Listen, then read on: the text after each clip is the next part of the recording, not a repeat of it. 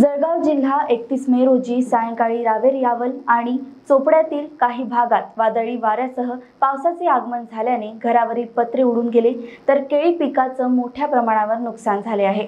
तालुक्यातील माचला येथील केळी उत्पादक शेतकऱ्यांचं या आलेल्या वादळ वाऱ्यामुळे केळीच्या बागा जमिनीवर आडव्या झाल्या आहेत. या शेतकऱ्यांचं सन सोळा जून दोन हजार वीसमध्ये आलेल्या वादळामुळे झालेल्या नुकसानीचा अजूनपर्यंत नुकसान भरपाई मिळाली नसल्याने नाराजी व्यक्त केली. आमदार खासदार येतात आश्वासनं देतात मात्र मदत काहीच मिळत नाही. वादळामुळे चार हजारपेक्षाही जास्त केळीचे घड जमीनदोस्त झाले आहे. जवळपास पंधरा लाखाचे नुकसान झाले असून फक्त आश्वासन नको प्रत्यक्षात भरीव मदत मिळावी अशी अपेक्षा शेतकऱ्याने केली आहे. एवढ्या रासायनिक खत फवारणीसाठी भरमसाठ महागाई झाली असल्याने शेतकरी पोटाच्या मुलासारखं शेतात पिकाची काळजी घेत असतो आणि असं संकट आल्याने नुकसान होत असतं. अशा परिस्थितीत कसं जीवन जगावं शेतकऱ्याला कळत नाही.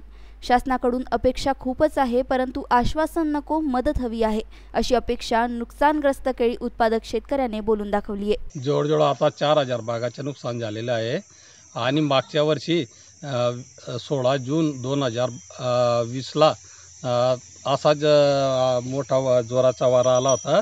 त्यावेळेस आमचा जवळजवळ पंधरा हजार बाग कोलॅप्स झालेला होता आणि शासनाने आमच्या इथे स्पॉटवर खासदार आमदार सर्व लोक येऊन गेले.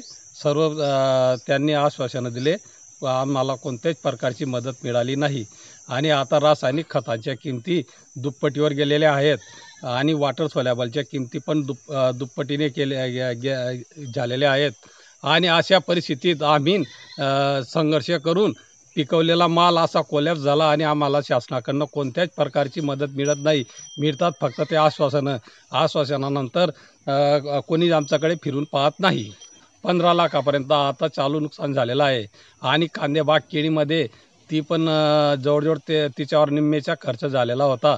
आता ती पण जवळजवळ पाच सहा हजार झाडं पडून गेलेली आहेत. तर मग शासनाकडनं आपली काय अपेक्षा आहे? शासनाकडनं दोन हजार वीसला पण आमची अपेक्षा खूप होती. ते मदत करतील.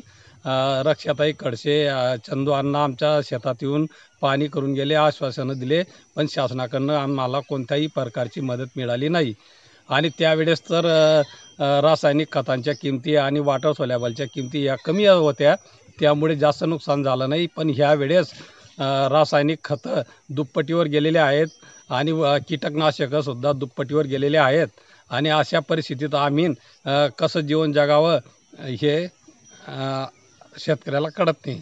अपेक्षा तर खूप आहेत शासनाकडनं मदत करायला. फक्त आश्वासनं नको मदत हवी आहे आम्हाला. अपने सपनों की उड़ान भरने की इच्छा तो हर किसी की होती है। पर पंख भी तो मजबूत होने चाहिए। जो देता है Flywheel Aviation Academy Flywheel Aviation Academy एक ऐसा इंस्टीट्यूट है जहाँ पर एयरलाइंस एंड एयरपोर्ट हॉस्पिटैलिटी और टूरिज़्म मैनेजमेंट साथ ही यहाँ campus interview guidance by industry expert practical training at airport expert faculty personal grooming जैसे कई सारे बेनिफिट्स आप पा सकते हैं। Flywheel Aviation Academy one degree three job opportunities Flywheel Aviation Academy gives you a degree or diploma with a job. Flywheel Aviation Academy, 365 Gandhinagar, LAD College Square, beside Karnataka Bank, Nagpur.